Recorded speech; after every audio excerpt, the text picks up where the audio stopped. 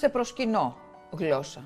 Φίλες και φίλοι, καλωσορίσατε στην καθιερωμένη γλωσσική μας εκπομπή με τον καθηγητή γλωσσολογίας, κύριο Γεώργιο Μπαμπινιώτη. Καλώς ήλθατε και πάλι κύριε καθηγητά. Καλώς σας βρίσκω.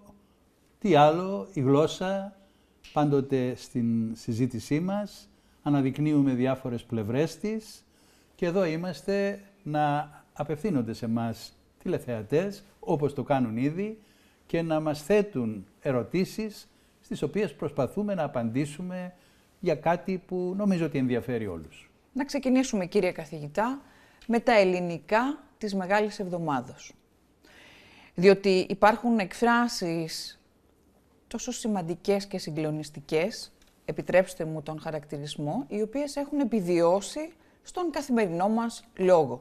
Όπως ε, επισημαίνεται στο βιβλίο σας η γλώσσα μας 180 κείμενα για τη γλώσσα από το Κέντρο Λεξικολογίας, αρκετές φράσεις με διευρυμένη μεταφορική χρήση σώζονται στη σημερινή ελληνική αυτούσιες ή διασκευασμένες, προερχόμενες από τα Ευαγγέλια και τους σύμνους της Μεγάλης Εβδομάδος.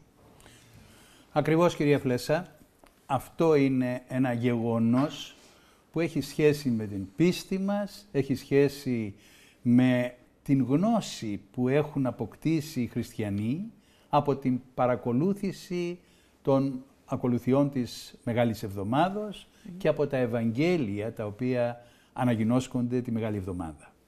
Έτσι, ας πάμε στη Μεγάλη Δευτέρα. Εκεί λοιπόν αναγινώσκεται από το κατά Ματθαίον Ευαγγέλιο τα του Κέσαρος το Κέσαρι. Να αποδίδεται δηλαδή στον καθένα αυτό που του πρέπει. Είναι η φράση που λέει ο Χριστός όταν προσπαθούν να τον παγιδεύσουν. Προς το Θεαθήνε, πάλι από το Ευαγγέλιο το Καταματθέων, δηλαδή για τα μάτια του κόσμου. Το λέμε Μια άλλη φράση, διηλίζει τον κόνοπα και καταπίνει την κάμιλον. Για τους υποκριτές, οι οποίοι για σήμαντα σφάλματα ξεσηκώνονται και για πολύ σημαντικά θέματα δεν μιλούν καθόλου. Η Καμίλα, δηλαδή το ζώο είναι. Ναι, βεβαίως, Καμίλα. Πάμε στη Μεγάλη Τρίτη. Εκεί γίνεται λόγος για τις μορές παρθένες. Δηλαδή για τους μη προνοητικούς ανθρώπους. Αυτές είναι μωρέ παρθένοι. Οι μη προνοητικοί άνθρωποι. Μεγάλη Τετάρτη. Ως πρόβατον επισφαγήν. Οδηγείται σε βέβαιη καταστροφή χωρίς να το γνωρίζει, χωρίς να διαμαρτύρεται κάποιος. Πάλι τη Μεγάλη Τετάρτη, το μεν πνεύμα πρόθυμον, η δε σάρξ ασθενής. Θέλει κάτι, αλλά δεν μπορεί. Μεγάλη Πέμπτη. Διαρριγνύω τα ημάτια μου, σχίζω τα ρούχα μου. Διαμαρτύρομαι έντονα για κάτι, υποστηρίζοντας την αθωότητά μου. Μεταφανών και λαμπάδων, σε πανηγυρική ατμόσφαιρα. Άρον, άρον, Σταύρωσον αυτόν. Γρήγορα, αμέσως. Μανά. Είναι από το οσανά στο Σταύρωσον, το λέμε συνδυάζοντας αυτές τις εκφράσεις. Νίσθητη μου Κύριε, το λέμε ως έκφραση έκπληξης. Βεβαίως το μνήστητή μου κύριε σημαίνει θυμίσουμε κύριε. Ακριβώς. Είναι προτιμότερο από το έλεος πάντως που ακούς πολλές φορές. Έλεος λέει. Καλύτερα να λέμε μνήστητή μου κύριε ή μαρτών ή προς Θεού από το έλεος. Έτσι είναι πιο χαρακτηριστικά. Αντί του μάνα, χολήν. Αυτή η δήλωση της αγνωμοσύνης, της αχαριστίας. Νύπτω τας σχήρας μου. Το λέει ο Πιλάτος Δηλαδή αποποιούμε την ευθύνη, η ευθύνη είναι δική σας, όχι δική μου. Ας όψετε, πάντοτε από τη Μεγάλη Πέμπτη. Η μη όψεστε λέει, ας όψετε. Κάποιος που θεωρείται φταίχτης, υπέτειος για κάτι. Λέμε επίσης από την Μεγάλη Πέμπτη κρανίου τόπος. Είναι η απόδοση στα ελληνικά της λέξης Γολγοθάς και σημαίνει ένα σεληνιακό τοπίο ή πόσο η ζωή είναι δυσβάστακτη. Συνεχίζουμε με το περίφημο τετέλεστε που λέει ο Χριστός επάνω στο σταυρό για κάτι οριστικό τέλος. Δια τον φόβο των Ιουδαίων. Όταν ενεργεί κανείς με συγκεκριμένο σκοπό διότι επαπειλείται κίνδυνος. Και έστε η εσχάτη πλάνη χείρον της πρώτης. Ένα σφάλμα που αν το επαναλάβει κανείς γίνεται χειρότερο και από το πρώτο. Και πάμε στη Μεγάλη Παρασκευή. Εδώ λοιπόν είναι κάτι που αξίζει να το προσέξουμε. Ψέλνω ή ακούω τον αναβαλόμενο. Από την φράση, από το τροπάριο, σε τον αναβαλόμενον φως ως ημάτιον. Σύ που ντύνεσαι, περιβάλλεσαι το φως σαν ρούχο. Επειδή όμως αυτό το τροπάριο ψάλεται καθ' όλη την διάρκεια της αποκαθήλωσης, άρα διαρκεί πολύ χρόνο, έτσι πέρασε η φράση ψάλω ή ακούω τον αναβαλόμενο, για κάποιον που ακούει κάτι να του επιτίθεται κάποιος και αυτό να κρατάει πάρα πολύ ώρα. Το ίδιο λέμε ψάλω σε κάποιον τον εξάψαλμο. Πάλι ο εξάψαλμος στον όρθρο είναι κάτι που διαρκεί πάρα πολύ. Και έτσι πέρασε το ψάλο... Η κακόσιμη ναι, σημασία. Η κακόσιμη σημασία, βέβαια. Και πάμε στο Μεγάλο Σάββατο, Ανάστα ο Θεός. Και έχει περάσει αυτή η φράση η οποία συνοδεύεται με έναν θόρυβο, πυροτεχνήματα, πράγματα, να σημαίνει την αναστάτωση, τον έντονο θόρυβο. Αλλά ας έρθουμε στο μήνυμα της Αναστάσεως. Χριστός Ανέστη εκ νεκρών, θανάτο θάνατον πατήσας και της εν της μνήμαση ζωήν χαρισάμενος. Αυτός ο ύμνος, ο Αναστάσιμος, Ανάσταση και Ανέστη από το ανίσταμε. Δηλαδή εγείρομαι, σηκώνομαι από νεκρός γίνομαι ζωντανός. Και πώς έγινε αυτό, δια του θανάτου πάτησε, νίκησε τον θάνατο.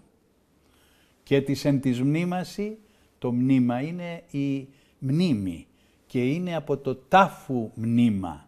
Και κατά παράληψη του τάφου είναι το μνήμα όπως το λέμε ο τάφος. Και της εν της μνήμαση, τους νεκρούς δηλαδή, ζωήν χαρισάμενος. Χαρίζομαι από το χάρις, όχι απλώς χαρίζω, χαρίζομαι, είναι δίνω την χαρά, την χάρη της ζωής από τον θάνατο. Το Πάσχα, να το πούμε και αυτό, τι είναι το Πάσχα; Είναι μια εβραϊκή λέξη που σημαίνει την διάβαση. Την διάβαση, το πέρασμα. Από την ε, Αίγυπτο στην γη της Επαγγελίας. Σε μας είναι Πάσχα Κυρίου, εκ θανάτου προς ζωήν και εκ γης προς ουρανών Χριστός ο Θεός ημάς διεβίβασεν. Μας διεβίβασε λοιπόν ο Χριστός από τον θάνατο στη ζωή και από την γη στον ουρανό. Αυτό το πέρασμα, αυτή η διάβαση είναι με την χριστιανική έννοια. Και βεβαίως πάμε στην Κυριακή του Πάσχα, χαράς Ευαγγέλια. Χαράς Ευαγγέλια, μια εξαιρετικά ευχάριστη είδηση όπως είναι η Ανάσταση. Και αυτό είναι για νηστεύσαντες και μη νηστεύσαντες. Για όλους πρέπει και μπορούν να χαρούν. Και αν κανείς δεν πιστεύει, τότε καλείται να βάλει τον δάκτυλον εις των τύπων των ύλων, όχι επί των τύπων, εις των τύπων των ύλων, όπως κάνει ο Θωμάς για να πιστεί ότι ο Χριστός ανέστη. Ναι. Και το παρελθέτω απεμού το ποτήριον τούτο. Και αυτό να το θυμηθούμε που κάποιες φορές το κάνουμε λάθος και το λέμε απελθέτω, ενώ είναι παρελθέτω. Έτσι είναι.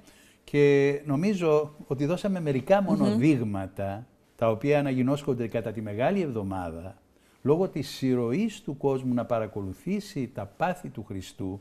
Τώρα με την πανδημία έχουμε μία δυσκολία. Αλλά μιλάμε γενικότερα. Μέσα λοιπόν από αυτή την προσέγγιση που ήταν για πάρα πολύ μεγάλο πλήθος ανθρώπων, πέρασε στη γλώσσα να χρησιμοποιούνται τέτοιες φράσεις από το Ευαγγέλιο. Αφού λοιπόν μιλήσαμε για τα ελληνικά της Μεγάλης Εβδομάδος, τις επιβιώσεις στην καθημερινότητα της γλώσσας μας ευτυχώς, να περάσουμε στις απορίες των μαθητών, κύριε καθηγητά, να ακούσουμε την απορία που έχει τώρα ο Νικόλας και να του απαντήσετε. Ο Νικόλας λοιπόν διαρωτάται, σε φράσεις όπως του δώσε, το φέρε, τα στείλε, το πε. Μπορούμε να έχουμε τρεις ή δύο συλλαβές χωρίς τόνο στο μονοτονικό; Για να τον ακούσουμε. Ονομάζομαι Νικόλας. Είμαι μάθητης πρώτης ηλικίου και θα ήθελα να ρωτήσω τον κύριο καθηγητή εάν σε φράσεις όπως του δώσε, το έφερε, τα στείλε, το είπε, μπορούμε να έχουμε τρεις ή δύο συλλαβές χωρίς τόνο στο μονοτονικό. Μία σωστή ερώτηση του Νικόλα που αξίζει να την προσέξουμε.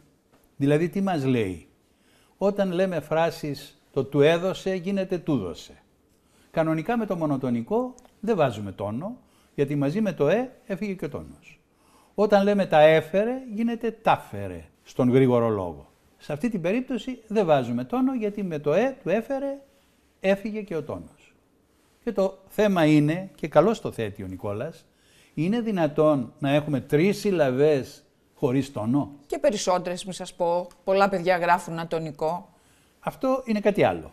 Εδώ είναι Δυστυχώς. μέσα κατά τους κανόνες του μονοτονικού να μην έχουμε τόνο όταν γίνεται αυτή η έκρουση, έτσι λέγεται το φαινόμενο αυτό, να μην έχουμε τόνο σε τρεις συλλαβές. Δεν είναι σωστό αυτό. Στην πραγματικότητα, του δώσε πρέπει να βάλουμε τόνο στο του, τάφερε πρέπει να βάλουμε τόνο στο τα, γιατί αλλιώς θα έχουμε τρεις συλλαβές χωρίς τόνο. Αυτή είναι η λύση και στο μονοτονικό και σύμφωνα με το πνεύμα του μονοτονικού. Ναι. Άλλωστε μας έχετε πει ότι καλό είναι να βάζουμε τόνο στο του έδωσε τον αγαπώ όταν είναι αντωνυμία προσωπική για να μην γίνεται σύγχυση με το άρθρο. Να μην γίνεται σύγχυση με το άρθρο και επίσης ε, να μην γίνεται σύγχυση με τα κτητικά. Ακριβώς. Ακριβώς. Να πάμε τώρα στην Κύπρο, αφού λύσατε την απορία του Νικόλα και να ακούσουμε την απορία της Έλενας. Ποιο είναι το σωστό, διερωτάται η Έλενα. Συνίσταται ή συνιστάται ο εμβολιασμός σε ευπαθή άτομα; Σύνηθες λάθος, Έλενα, έχεις δίκιο. Κύριε Μπαμπινιώτη, γεια σας. Είμαι η Έλενα, μαθήτρια της Β' Λυκείου. Θα ήθελα να σας υποβάλω το εξής ερώτημα. Ποιο είναι το σωστό, Συνίσταται ή συνιστάται ο εμβολιασμός σε ευπαθή άτομα. Σας ευχαριστώ. Έλενα, ευτυχώς που το θίγεις, γιατί ο εμβολιασμός συνιστάται. Το ρήμα είναι συνιστώ. Συνιστώμε, συνιστάσε, συνιστάται ο εμβολιασμός. Όχι συνίσταται, γιατί το συνίσταται είναι από το συνίσταμε και έχει άλλη σημασία. Το συνίσταμε από σημαίνει αποτελούμε από. Βέβαια. Τα το βιβλίο, συστατικά. ναι, το βιβλίο συνίσταται από 100 σελίδες. Ή συνίσταται σε, έγκυται σε κάτι. Η βοήθεια του κράτους συνίσταται στο να εξασφαλίσει κλπ. Αφορά δηλαδή. Με Ναι. την έννοια του αφορά. Έγκυται, αφορά, καλύπτει. Επομένως, συνιστάται όταν λέμε για κάτι που συμβουλεύουμε να γίνει, συνίσταται από, σημαίνει αποτελείται, συνίσταται σε, σημαίνει έγκυται σε κάτι. Δύο τελείως διαφορετικά πράγματα, δύο ρήματα που μοιάζουν, άλλο όμως είναι το συνιστώμε, συνιστάται και άλλο το συνίσταμε, συνίσταται που σημαίνει αποτελείται.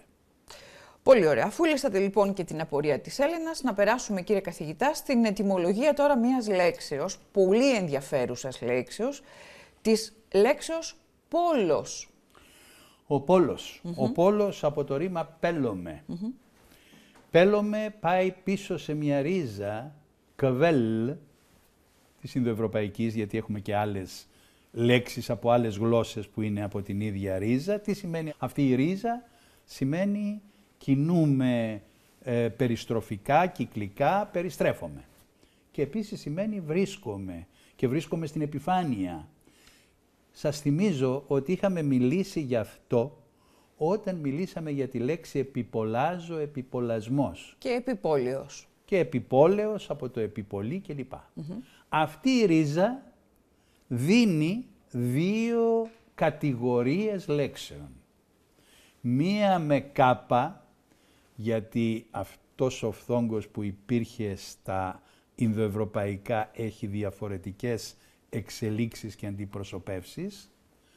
Μία λοιπόν με κάπα που είναι ο κύκλος, το κυλίο, το κύλινδρος και στα λατινικά είναι το κατοικό, το καλλιεργό, το κόλο, από όπου η κουλτούρα, η καλλιέργεια και η κολόνια, η απικία και ο αγκρίκολα, ο γεωργός. Και στην Αγγλική έχουμε Και αυτές στην τις Αγγλική επιβιώσεις. είναι το wheel, Ο ο, τροχός. τροχός. Το Και ένα οι απικίες είναι ναι, βεβαίως. Και colonies. αυτα έχουν περάσει και στα αγγλικά και σε άλλες γλώσσες. Η μία λοιπόν εξέλιξη είναι με κάπα, η άλλη εξέλιξη είναι με πι.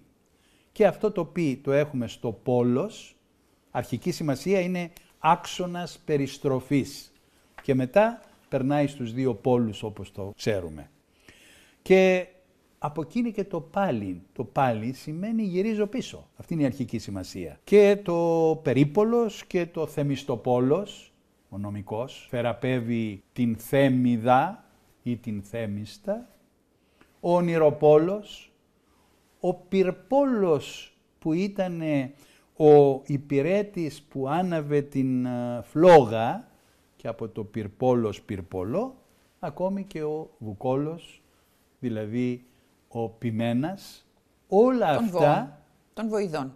ναι, όλα αυτά από την ρίζα κβέλ, από την οποία η λέξη πόλος, αλλά και η λέξη κύκλος. Τι δείχνει αυτό; Δείχνει ότι έχουμε μία δημιουργία ενός πλήθους λέξεων από βασικές ρίζες, τόσο στην ελληνική όσο και στις άλλες γλώσσες. Μάλιστα αυτός ο φθόγκος, ο χιλοϊπεροϊκός, ο κβέ, έχει διατηρηθεί στα λατινικά, είναι αυτό το κβο, κβοβάντης κλπ. Και στις γερμανικές γλώσσες, στα αγγλικά, είναι αυτό το W και το H. Είναι από αυτό το κβέ. Στα ελληνικά έγινε ή π ή κάπα, ανάλογα έχει πάρει και άλλες μορφές. Πολύ ενδιαφέροντα όλα αυτά, κύριε καθηγητά, και προτείνω τώρα να περάσουμε σε μια σημασιολογική διαφορά η οποία υπάρχει ανάμεσα σε δύο επιρρήματα. Το αυτοδικαίως και το αυτεπαγγέλτος. Για να μας εξηγήσετε. Αυτοδικαίως. Μία κατάσταση που ισχύει αυτόματα εκ του νόμου. Η πράξη του Υπουργού είναι αυτοδικαίως άκυρη. Γιατί αντιβαίνει στο νόμο και στο Σύνταγμα. Αυτοδικαίως λοιπόν κατάσταση που ισχύει. Αυτομάτως. Αυτεπαγγέλτος είναι ενέργεια, αυτόματη ενέργεια νομίμου οργάνου. Είναι ή νομικός αρχής, όρος. Είναι νομικός όρος του εισαγγελέα, της αστυνομίας, η οποία χωρίς να απαιτείται κάποια άλλη διαδικασία, Κάποια έγκληση. έτσι επεμβαίνει. Ο εισαγγελέας άσκησε αυτεπαγγέλτος δίωξη κατά του υπευθύνου. Άλλο λοιπόν το αυτοδικαίως, κατάσταση, άλλο το αυτεπαγγέλτος, ενέργεια. Πολύ ωραία. Να συνεχίσουμε με τις σημασιολογικές διαφορές και να μας πείτε την ειδοποιώ διαφορά ανάμεσα σε δύο επίθετα. Ακαριέως και στιγμιαίος. Ποιος είναι ο ακαριαίος; Αυτός που συμβαίνει αυτόματα, ξαφνικά, ευνίδια, απρόοπτα, αστραπιαία. Ακαριαίος θάνατος. Ή λέμε η αντίδρασή του υπήρξε ακαριαία. Δεν έχει σχέση με το στιγμιαίος. Το στιγμιαίος σημαίνει διάρκεια. Πολύ μικρή διάρκεια. Δηλαδή μπορούμε να πούμε στιγμιαίος καφές. Μπορούμε να πούμε στιγμιαία ζάλη που διαρκεί μια στιγμή, πολύ λίγο και μάλιστα και στην γραμματική λέμε ενίοτε στιγμιαίος μέλλοντας έναντι του διαρκούς μέλλοντα που δι- σημαίνει επανάληψη, ο στιγμιαίος μέλλοντας σημαίνει ότι κάτι διαρκεί μόνο μια φορά, μόνο λίγο, δεν έχει επανάληψη, δεν έχει διάρκεια. Άρα το ακαριέως είναι ο ευνίδιος. Το Ο συνώνυμο, ευνίδιος- ο το προσήκον ευνίδιος- συνώνυμο είναι το ευνίδιος. Ας το συνδέσουμε με το αστραπιαίος, Ωραίο. γιατί έχει μια παραστατικότητα. Αυτό είναι ο ακαριαίος. Μάλιστα. Και μετά να μας εξηγήσετε τη διαφορά ανάμεσα σε δύο ουσιαστικά, στην αιτία και την αφορμή. Ναι, συχνά γίνεται μια σύγχυση αυτών των δύο. Αιτία είναι το βαθύτερο, το ουσιαστικό, το αληθινό στοιχείο που οδηγεί σε ένα αποτέλεσμα. Ενώ η αφορμή είναι το επιφανειακό. Μπορεί να είναι και προσχηματικό ενίοτε. Που το έναυσμα για κάτι. Το έναυσμα. Μάλιστα, έχω ένα παράδειγμα. Η αφορμή για την κήρυξη του Πρώτου Παγκοσμίου Πολέμου ήταν η δολοφονία του διαδόχου του θρόνου της Αυστριακής Αυτοκρατορίας. Αυτή ήταν η αφορμή. Αλλά η αιτία ήταν η ένταση του ανταγωνισμού των ευρωπαϊκών δυνάμεων. Άλλο λοιπόν αιτία, κάτι το βαθύτερο, και άλλο η αφορμή είναι το επιφανειακό στοιχείο, το έναυσμα. Ναι, έχουμε και μία φράση με το ουσιαστικό αφορμή. Λέμε εξαφορμής ή επαφορμή. Το λέτε σωστά και το εξαφορμής και το επαφορμή. Για να μας εξηγήσετε, γιατί γίνεται ένα λάθος. Γίνεται ένα λάθος και, το ακούμε ενίοτε επαφορμής. Δεν υπάρχει το επαφορμής, είναι το επαφορμή με δοτική, όπως λέμε επευκαιρία. Δηλαδή, αν θα το πούμε με το επί, είναι με δοτική και όχι με γενική. Πολύ ωραία. Και έπειτα από αυτές τις διευκρινήσεις, ε, κύριε καθηγητά, να περάσουμε σε μία γραμματική δυσκολία. Επιτρέψτε μου να δούμε δίτυπα ρήματα. Είναι σωστό να λέμε θυμούμε ή θυμάμαι, λυπούμε ή λυπάμαι, φοβούμε ή φοβάμαι. Δίτυπα ρήματα. Θυμούμε, λυπούμε, φοβούμε και κοιμούμε. Αυτά έχουν και τύπους θυμάμαι, φοβάμαι, κοιμάμαι, λυπάμαι. Και οι δύο τύποι είναι αποδεκτοί. Αυτοί που χρησιμοποιούνται περισσότερο στην χρήση είναι οι τύποι σε άμε. Θυμάμαι, κοιμάμαι, λυπάμαι. Μια δυσκολία υπάρχει κυρίως στον παρατατικό. Λέμε θυμόμουν, θυμώσουν, θυμόταν. Στο τρίτο πληθυντικό τι θα πούμε; Έχουμε τρεις τύπους. Θυμόνταν, θυμόντουσαν και θυμούνταν. Φοβόνταν, φοβόντουσαν και φοβούνταν. Δηλαδή πάντοτε εκεί στον παρατατικό έχουμε μία πολιτική Δυσκολία. Και έχουμε και, μια δυσκολία γιατί και στο τρίτο ενικό το βλέπεις πολλές φορές, ενώ θα έπρεπε κάποιος να χρησιμοποιήσει το θυμόταν, λέει θυμούνταν για το τρίτο ενικό.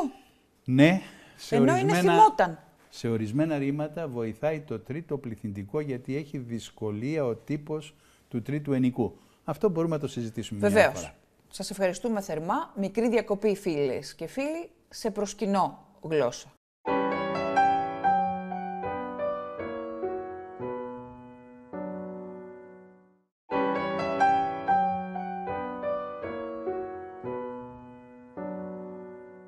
Σε προσκυνώ γλώσσα.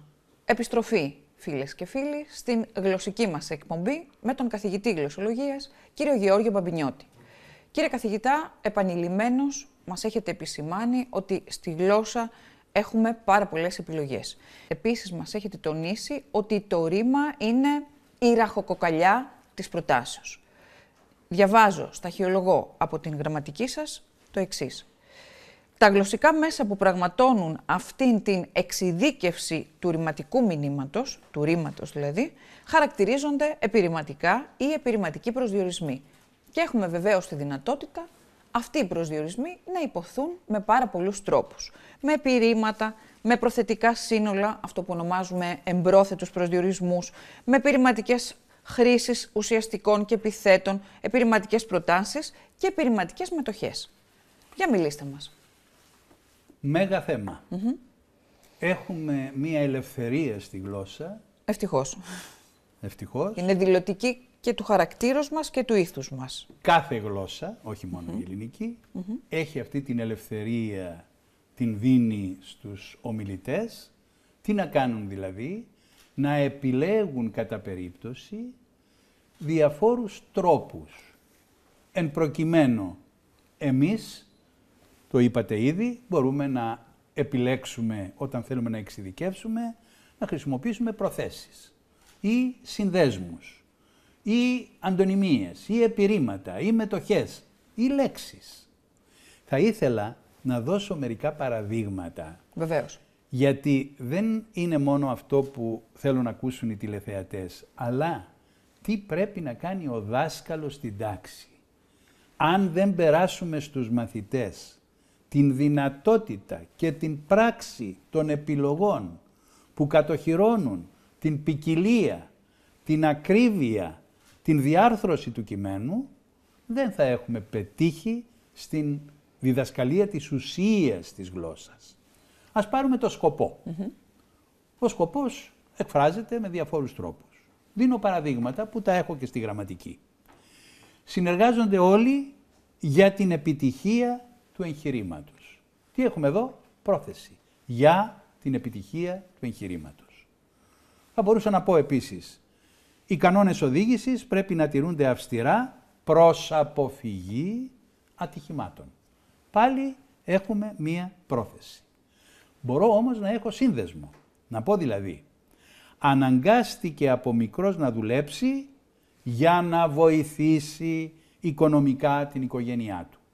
Για να βοηθήσει σκοπός, αλλά πώς εκφράζεται τώρα με τον σύνδεσμο για να.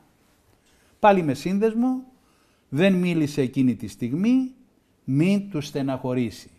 Μην του στεναχωρήσει, μήπως του στεναχωρήσει, για να μην του στεναχωρήσει. Μπορούμε όμως να έχουμε και λέξη.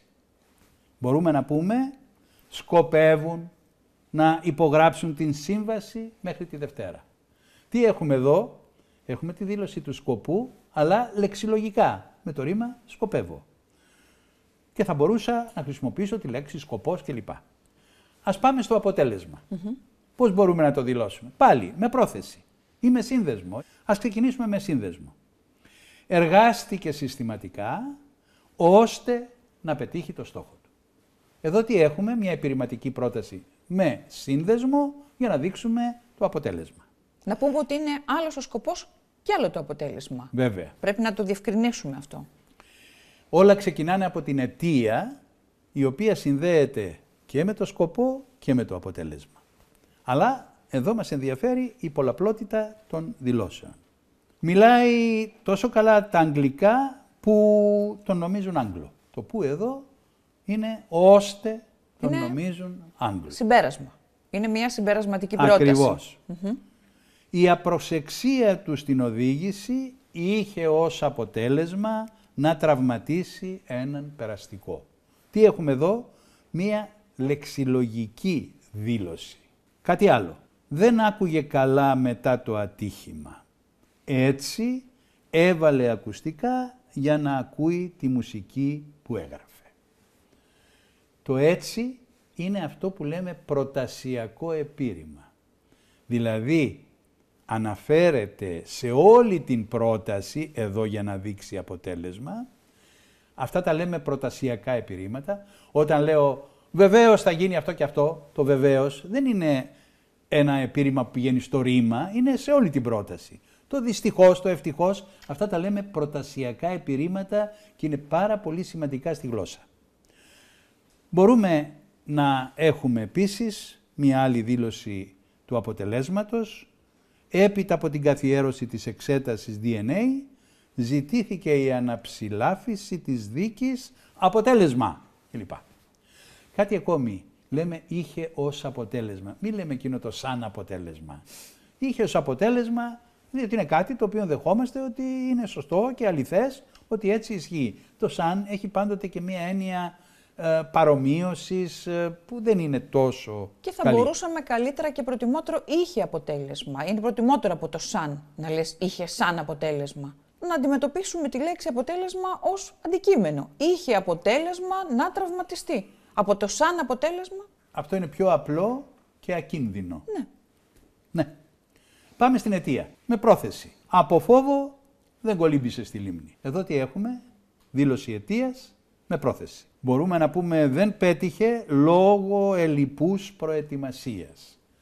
Πάλι έχουμε την λεγόμενη καταχρηστική πρόθεση, αυτό το λόγο. Σύνδεσμος. Γιατί μιλάς τόσο δυνατά, διότι δεν ξέρω αν ακούγομαι. Γιατί, διότι εδώ χρησιμοποιούμε σύνδεσμο. Αφού δήλωσε αδυναμία, παραλήφθηκε από τον κατάλογο. Πάλι χρήση συνδέσμου. Κοιτάξτε και με το χ, Έψαχνα επί ώρες ξέροντας ότι ήταν εκεί. Επειδή ήξερα Αντί να πούμε όμως κάτι με σύνδεσμο μια πρόταση, χρησιμοποιούμε στα ελληνικά και τη μετοχή. Μη εξηγώντας τι συνέβη, θεωρείσαι ένοχος. Επειδή δεν εξηγείς, θεωρείσαι ένοχος. Την επιτυχία της την οφείλει στην προπονήτριά της. Εδώ το οφείλει είναι η αιτία λεξιλογικά υπομένη. Επομένως, αυτό που ήθελα να φανεί από τη συζήτησή μας, με τα παραδείγματα που είναι κοινά και γνωστά σε όλους, είναι ότι έχουμε πολλές επιλογές. Δεν πρέπει να χρησιμοποιούμε συνεχώς το ίδιο, πρέπει να το εναλλάσσουμε και για λόγους ποικιλίας, αλλά και για λόγους ακρίβειας. Διότι το επειδή με το διότι ε, και, το, γιατί. όλα αυτά έχουν κάποιες διαφορές και στη Λεπτές χρήση. αποχρεώσεις. Ακριβώς, άρα πρέπει να αξιοποιούμε αυτές τις διαφορές και αυτές να τις διδάσκουμε ως μηχανισμό της γλώσσας στην πράξη, δηλαδή στην επικοινωνία.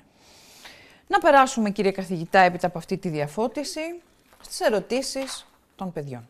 Και να ακούσουμε τη Μαρία από την Κύπρο, η οποία, Μαρία, διερωτάται ορθώς.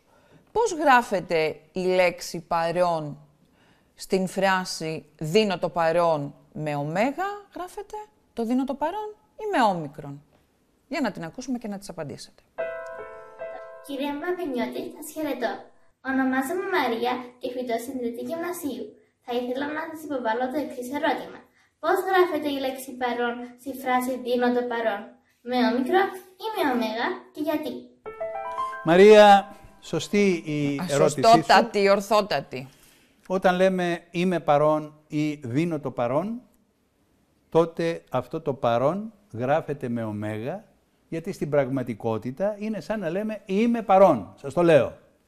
Άρα δεν είναι το παρόν σε αντίθεση το προς οποίο το παρελθόν. τώρα και το μέλλον. Προς το παρελθόν και στο μέλλον. Εκείνο το παρόν, το παρελθόν, το μέλλον είναι άλλο. Μπορούμε να πούμε ότι το παρόν είναι δύσκολο, το μέλλον δεν ξέρω. Εδώ όταν λέμε δίνω το παρόν, σημαίνει δηλώνω την παρουσία μου είμαι παρόν. Γράφεται με ωμέγα. Και όταν είμαι γυναίκα, κύριε καθηγητά, δεν λέω παρόν. Εάν σε ένα κατάλογο στην εκφώνηση ενός καταλόγου ακούσω βασιλική φλέσσα του χαραλάμπους, δεν θα πω παρόν, παρούσα θα πω. Τότε θα πεις παρούσα, αλλά εάν γράψεις δίνω το παρόν, Άλλο είναι αυτό, τότε βεβαίως. δεν θα πεις δίνω το παρούσα, Όχι, δίνω το φυσικά, παρόν. το παρόν. Γιατί έχει ουσιαστικοποιηθεί. Έτσι. Όπως επίσης πολλές φορές βλέπεις σε πινακίδες, πωλείται το παρόν οικόπεδο με ωμέγα. Εκεί είναι άλλο πια. Φύγαμε Ε, από ναι. εκεί. Και αυτό είναι λάθος. Να πάμε τώρα στην απορία της ουρανίας, η οποία έχει το εξής να σας ρωτήσει. Διαβάζω και ακούω, μας λέει η ουρανία, την λέξη πλειοψηφία να λέγεται και πλειονοψηφία. Και είναι λάθος και διαφέρει από τη λέξη πλειονότητα. Για να ακούσουμε την ουρανία και να τις απαντήσετε. Ονομάζομαι Ουρανία και είμαι μαθήτρια της Τρίτη Λυκείου. Διαβάζω και ακούω τη λέξη πλειοψηφία να λέγεται και πλειονοψηφία. Ήθελα να ρωτήσω τον κύριο καθηγητή εάν είναι λάθος και αν διαφέρει από τη λέξη πλειονότητα. Λοιπόν, δύο ερωτήματα Βέβαια. θέτει η ουρανία. Πρώτον, εάν το πλειοψηφία λέγεται και πλειονοψηφία και ποιο είναι σωστό. Και τα δύο λέγονται και τα δύο είναι αποδεκτά. Το πλειονοψηφία σχηματίζεται από το θέμα της γενικής που έτσι σχηματίζονται τα σύνθετα. Έχουμε τη λέξη σώμα. Όταν σχηματίσουμε ένα σύνθετο, τι θα πούμε, σωματότυπος. Δηλαδή, από τη γενική σώματος θα κάνουμε το σύνθετο. Έτσι, από το πλοίον, πλοίονος, λέμε πλειονοψηφία. Όμως, ήδη στην αρχαιότητα υπάρχει ο συντομευμένος όρος πλειοψηφία που επίσης είναι σωστό. Εκείνο που είναι ιδιαίτερος σημαντικό είναι να μην συγχαίουμε την πλειονοψηφία ή πλειοψηφία με την πλειονότητα. Πλειονότητα σημαίνει ένα μεγάλο πλήθος. Ενώ η πλειονοψηφία και η πλειοψηφία έχει σχέση και με εκλογική διαδικασία. Είναι αποτέλεσμα κάποιας ψηφοφορίας. Και διαδικασίας Ναι, γενικά.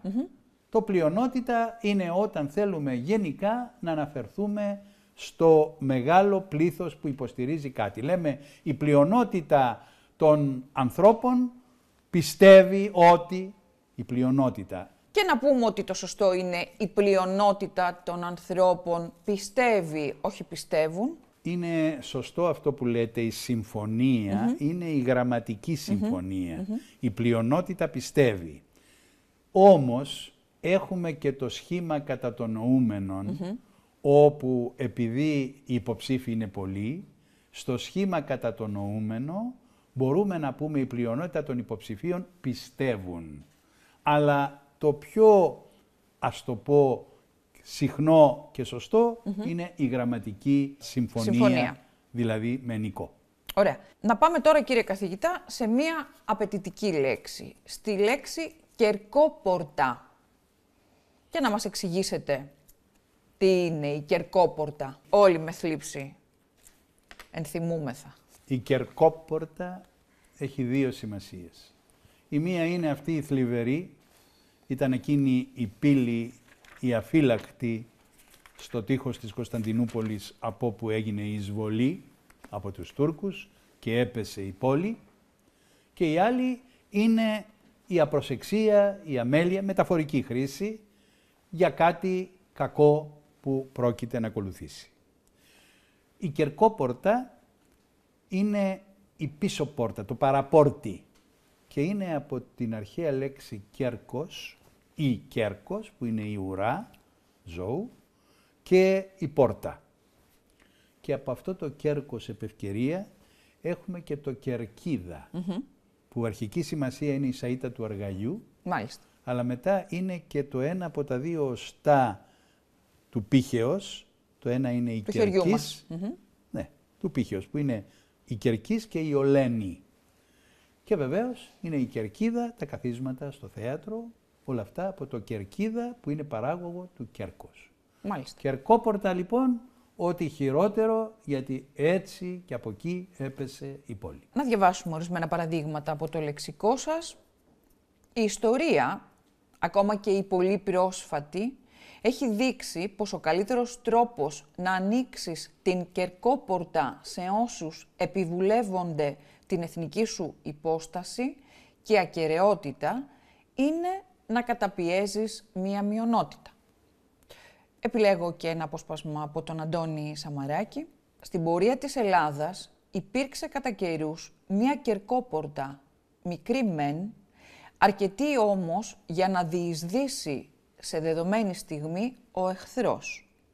Ο οποιοδήποτε εχθρός, γράφει ο Αντώνης Σαμαράκης. Πολύ ωραία διατύπωση από τον αείμνηστο Σαμαράκη. Να περάσουμε τώρα σε μία ελληνογενή λέξη, κύριε καθηγητά, και να δούμε τη λέξη τηλέγραφος. Αυτό το τίλε βοά. Μακρόθεν, κύριε καθηγητά. Έτσι. Λοιπόν, ο τηλέγραφος από το γαλλικό telegraph, αλλά οι Γάλλοι πώς το έπλασαν; Από τα ελληνικά. Γι' αυτό λέμε ελληνογενής λέξη. Πήραν το τίλε, πήραν και το γράφο και δημιούργησαν τη λέξη τηλέγραφος, την οποία πήραμε εμείς πότε; Το 1817. Πήραμε επίσης από τα γαλλικά το telegraphic, το είπαμε τηλεγραφικός. Και οι Γάλλοι, πάντοτε από τα γαλλικά, είναι σημαντικό να δούμε ότι δεν σχηματίζουν, δεν πλάθουν μόνο μία λέξη, αλλά σχηματίζουν, δημιουργούν και άλλες λέξεις. Παράγωγα. Το telegram, το τηλεγράφημα. Το τελεγραφίστ, ο τηλεγραφητής. Το τελεγραφή, η τηλεγραφία. Δηλαδή, οι ίδιοι οι Γάλλοι χρησιμοποιούν ένα μεγαλύτερο φάσμα λέξεων που έχουν σχέση με το τίλε και το γράφο και δημιουργούν μια ομάδα λέξεων τις οποίες παίρνουμε και εμείς μετά και τις αποδίδουμε πάλι στα ελληνικά, ενίοτε με κάποιες διαφορές. Ελληνογενείς λοιπόν, το έχουμε ξαναπεί σε αυτή την εκπομπή, χιλιάδες οι λέξεις που πλάσσονται από τους ξένους με βάση τα ελληνικά. δύο μερικές λέξεις και με τον τρόπο κατά τον οποίο συντίθενται οι λέξεις στην ελληνική. Επίσης, κρατούν τις δικές μας καταλήξεις και συνθέτουν τις λέξεις με το δικό μας τρόπο. Και μιας και ο λόγος, κύριε καθηγητά, για τα παράγωγα τα οποία σχηματίζουν οι Γάλλοι από τον τηλέγραφο, να πάμε σε μια οικογένεια λέξεων, η οποία προκύπτει από τη λέξη βίος. Ο βίος. 155 παράγωγα και σύνθετα. Μία λέξη που προέρχεται από μία ρίζα Ινδοευρωπαϊκή, αρχική, η οποία σημαίνει ζωτικότητα, ενέργεια. Αυτή η ρίζα έδωσε στα ελληνικά τρεις λέξεις, που δεν τη συνδέουμε εύκολα. Βίος, ζωή και υγιής. Ακούγονται σαν να είναι διαφορετικές, όμως με τους μηχανισμούς δήλωσης κάποιων φθόγκων των λεγόμενων χιλοϊπεροϊκών, έχουμε στα ελληνικά και το β της λέξης βίος και το ζ της λέξης ζωή και το γ στη λέξη υγιής. Και οι τρεις λοιπόν από αυτή τη ρίζα. Τι έχουμε από το βίος; Έχουμε την λέξη βιωτή και βίωτο στα αρχαία, από όπου το βιωτικος Άρα το βιωτικός πώς γράφεται; Με όμικρον, γιατί είναι από το βιωτή ή από το βίωτος. Δεν είναι από το βιώνο να γραφεί με ωμέγα. Έχουμε επίσης το βιώνο που μας δίνει τη βίωση, το βιώσιμος. Αντιβίωση. Αντιβίωση που οι ξένοι έπλασαν. Βεβαίως. Βίος Και αβίωτος. αντιβιωτικός. Ο αβίωτος. Βίος αβίωτος, βιωσιμότητα, βίωμα, βιωματικός, βιωματικότητα. Και όταν πάμε στο βίο ως πρώτο συνθετικό, θα έχουμε την βιολογία και τον βιομήχανο, την βιοπάλη, την βιοτεχνία, το βιοπορίζομαι, την βιοψία, τον βιογράφο, την βιοηθική, την βιοθεωρία, την βιοιατρική, την βιοκαλλιέργεια. Πάρα πολλές λέξεις με πρώτο Στα συνθετικό λατινικά. το βιο, το οποίο το παίρνουν και οι ξένοι και σχηματίζουν λέξεις από τα ελληνικά. Και ως δεύτερο συνθετικό, να θυμηθούμε το αιωνόβιος και το αμφίβιος και το μακρόβιος και το έμβιος και το νικτόβιος και το υδρόβιος και το ρεσίβιος. Πάρα πολλές λέξεις με δεύτερο συνθετικό το βίος και από το βιώνω βέβαια το αναβιώνω, το απεβίωσε αποβιώνω, διαβιώνω, επιβιώνω, συμβιώνω. Ναι, ναι. Και αυτό το μπάιο, να το τονίσουμε ότι έχει περάσει στις ε, άλλες γλώσσες. Το βίβερε, το λατινικό, το βίβερε περικολοζαμέντε που λέμε. Βέβαια, γιατί στα λατινικά ο Το vivid ζωντανός στα είναι αγγλικά. ο βίβους, Έτσι, ακριβώς. που μας δίδει το βίφ στα γαλλικά. Είναι δηλαδή λέξεις πάρα πολύ ζωντανές, μια και μιλάμε για αυτή τη ρίζα. Ναι. Όπως άλλωστε έλεγαν και οι Λατίνοι primum vivere dende φιλοσοφάρι. Να περάσουμε λοιπόν κύριε καθηγητά τώρα στο στοιχείο σας. Πώς μπορούμε να αποδώσουμε ξένες λέξεις στην ελληνική; Να ξεκινήσουμε με αυτό που το ακούμε διαρκώς πλέον και στο διαδίκτυο, το βίντεο κλιπ. Πώς μπορούμε να αποδώσουμε στα ελληνικά, πώς μπορεί να αποδοθεί στα ελληνικά ο όρος βίντεο κλιπ; Τι είναι το βίντεο κλιπ; Είναι αυτό που βλέπουμε ένα όραμα μουσικό, γιατί να μην το πούμε μουσικόραμα. Πολύ ωραία. Και το ακούμε κιόλας. Ε, βέβαια. Μουσική. Και το βλέπουμε και το ακούμε. Μουσικόραμα θα ήταν μια καλή απόδοση για το βίντεο κλιπ, γιατί θα χρειαστούμε, κυρία Φλέσα, και πληθυντικό. Τι θα λέμε, βίντεο κλιπς; Μπορούμε να Βιντεοκλίπια. πούμε μουσικοράματα, του μουσικοράματος. Χρειαζόμαστε κλήσεις στα ελληνικά. Αυτό είναι που δίδουν οι αποδόσεις οι ελληνικές. Και είναι και τόσο ωραία η λέξη όραμα. Έχει μία πνευματικότητα. Να περάσουμε σε μία άλλη λέξη που επίσης ακούγεται πολύ συχνά. Το brainstorming. Το αγγλικό. Τι είναι το brainstorming; Είναι σαν το νερό που κατεβαίνει στο λουτρό. Πώς λέγεται αυτό; Κατεωνισμός. Αφού λοιπόν έχουμε τον κατεωνισμό, έχουμε και τον κατιδεασμό. Δηλαδή ιδέες που κατεβαίνουν, να μην μιλήσουμε για αναστάτωση και αναταραχή. Ναι, γιατί το brainstorming έχει θετική έννοια. Δηλαδή, Δεν είναι καταιγίδα. έτσι, Δεν είναι το ανταλλάσσουμε ιδέες που μας κατεβαίνουν Είναι καταιγιστικές. καταιγιστικές, επομένως κατηδεασμός, όπως λέμε κατεωνισμός, όταν κατεβαίνει το νερό στο λουτρό, είναι αυτό που λέμε ξενόγλωσσα ντους, ντους, είναι κατεωνισμός στα ελληνικά. Όπως λοιπόν κατεβαίνει το νερό, έτσι κατεβαίνουν οι ιδέες, κατεβάζει το μυαλό μας ιδέες και αυτό είναι κατηδεασμός. Να πούμε λοιπόν, να πάμε για έναν κατεωνισμό, κύριε καθηγητά, να το πούμε έτσι και όποιος το καταλάβει, το κατάλαβε. Λοιπόν, θα πάμε σε κάτι άλλο τώρα ευκολότερο. Το best seller. Νομίζω το έχετε καθιερώσει Ναι, λίγο το επίθετο, Κάποτε- το ευπόλυτο. Κάποτε μου ζητήθηκε από την εφημερίδα το Βήμα πώς μπορούμε να το πούμε αυτό το best seller όταν το εμφανίστηκε. Ε, είπα ας το πούμε ευπόλυτο. Και καθιερώθηκε σιγά σιγά Πράγματι. Και χρησιμοποιείται πολύ γιατί αυτό είναι το best seller, Είναι πολύ ωραία λέξη. το ευπόλυτο. Αυτό που πουλιέται πολύ ευρέως, έχει μεγάλη κυκλοφορία δηλαδή και είναι ό,τι καλύτερο για πώληση. Ναι. Best seller. Ευπόλυτο. Και να κλείσουμε με αυτή τη λέξη που δεν είναι και τόσο ευχάριστη, το λεγόμενο bullying. Πώς μπορούμε να αποδώσουμε στα ελληνικά αυτόν τον όρο, το bullying, μου κάνεις bullying. Τι είναι λοιπόν το bullying, για να καταλαβαίνει ο Έλληνας γιατί μιλάμε. Εκφοβισμός. Μπορεί να είναι λεκτικός, μπορεί να είναι σωματικός, Ωραιότατη λέξη. Μπορεί να είναι διαδικτυακός, αλλά είναι εκφοβισμός. Και πρέπει να αποφύγουμε τον εκφοβισμό, να μην εκφοβίζουμε, εκφοβίζω σημαίνει κάνω bullying, Και να, να μην μην- εκφοβιζόμεθα επίσης. και να μην εκφοβιζόμαστε, να μην δεχόμαστε bullying. Επομένως, εκφοβισμός, εκφοβίζω, εκφοβιστικός και δεν αποδέχομαι τον εκφοβισμό. Αυτό είναι το μήνυμα. Προσυπογράφαμε, κύριε καθηγητά. Σας ευχαριστούμε θερμά για μία ακόμη γλωσσική διαφώτιση. Ευχαριστούμε και εσάς, φίλες και φίλοι, που μας παρακολουθήσατε. Σε προσκυνώ γλώσσα.